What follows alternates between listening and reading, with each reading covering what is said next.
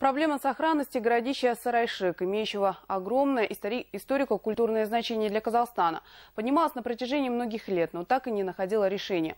И, наконец, прошлого года по инициативе Акима области начались масштабные берегоукрепительные работы возле этого средневекового города. Целью ознакомиться с ситуацией и увидеть воочию состояние исторического места в Атрау с рабочим визитом прибыл министр культуры и спорта страны Арстанбек Мухамедиула. Историки бьют тревогу. Сколько бы раз не поднимался вопрос о сохранении сарайшика, все безрезультатно. Жайк ежегодно, выходя из берегов, смывает памятники древности, оставляя их под водой.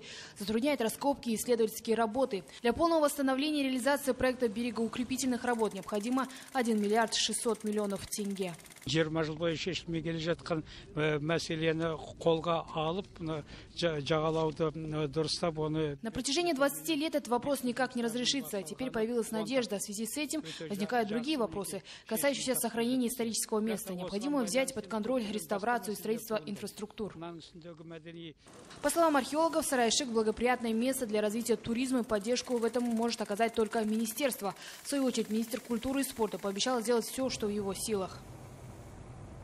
біз министрлік болсын ары қарай былайша айтқанда біздің берік Как только наступит потепление, мы приступим к работе. Сейчас мы должны определить место и построить ограждение вокруг сарайшика.